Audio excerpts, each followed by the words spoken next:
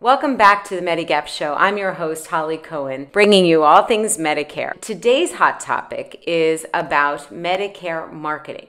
So, you've probably noticed over the last couple of years how much advertising has been on television about Medicare. Well, that's what we're going to discuss today and what the crackdowns this year and moving forward into our upcoming open enrollment will be like for marketing so that you don't have to deal with watching those horrendous commercials about Medicare. So stay tuned. Remember to subscribe to the channel if you like what you see and you want to stay updated on all the newest information about Medicare. In today's video, we will be discussing the Centers for Medicare and Medicaid, CMS, recent finalization of new rules for Medicare Advantage marketing. Let's dive into the highlights of this article. The marketing problem in Medicare Advantage. An analysis by Jay Asser on June 5, 2023. Misleading marketing has run rampant in the private program for too long. CMS regulations will attempt to offer more protection for enrollees. Some key takeaways of the article Medicare Advantage marketing has been under fire for its dishonest tactics in targeting beneficiaries. A report by the Commonwealth Fund found that CMS reported more than 41,000 complaints in 2021 about Medicare private plan marketing which doubled 2020 and dwarfed 2017's figure of 6,000. CMS made marketing a priority in its Medicare Advantage final rule for 2024, which includes restricting any ads that do not mention a plan name or use confusing imagery. Medicare Advantage can attribute its growth to several factors, but deceptive marketing is undeniably somewhere on that list. When your consumer base is senior citizens, the ease with which MA and traditional Medicare can be confused isn't a bug, it's a feature. Health plans selling the private program are able to take advantage of beneficiaries' confusion with marketing tactics that prioritize profits over well being. Whether it's a celebrity endorsing Medicare Advantage on a TV advertisement or a broker not being completely forthcoming, MA has been ripe with misleading and deceptive practices. Where exactly is that marketing coming from and what is being done to protect enrollees? According to a recent report from the Commonwealth Fund, non government entities, which are agents, brokers, partners, and health plans, account for one third of all Medicare related search records and 87% of all search engine ads. Medicare Advantage plans are promoted through direct mailings, telemarketing, and advertising on radio, television, websites, and social media channels, the report stated.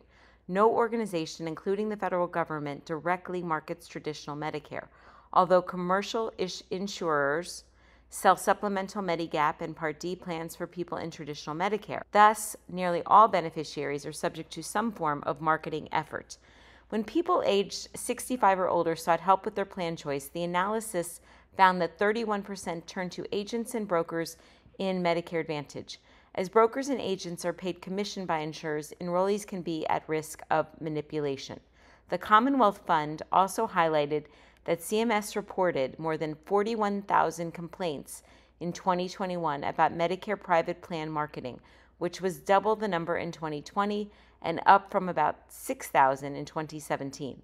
The marketing problem has gotten out of hand, which is why plenty of lawmakers have taken notice and attempted to push CMS to implement necessary regulations. CMS listened and cracked down on unscrupulous marketing tactics in its MA 2024 final rule.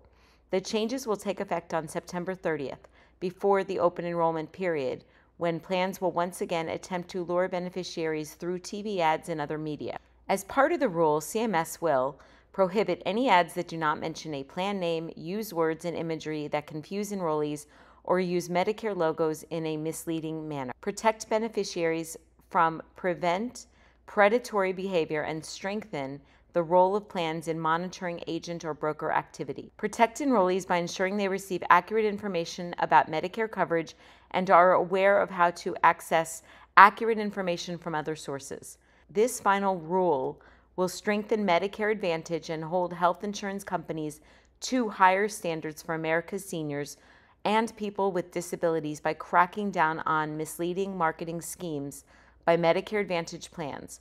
Part D plans and their downstream entities, CMS said in a press release. CMS has prohibited advertisements that don't mention a specific plan name or use words and imagery that may confuse beneficiaries. To tackle misleading marketing practices, advertisements are prohibited from using Medicare logos in ways that may mislead, confuse, or misrepresent the plan. These rules aim to streamline the process for beneficiaries, protect them, and to ensure consistent and reliable healthcare coverage. If you'd like to explore these new rules in more detail, please look at the link in the description I've included in this video.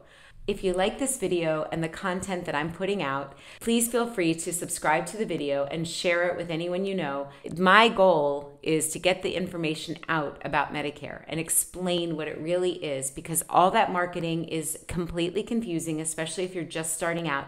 You could have a Harvard law degree and still find Medicare incredibly confusing and basically due to the marketing that's always out there. That's all for today. Please be well. I look forward to speaking with you next time.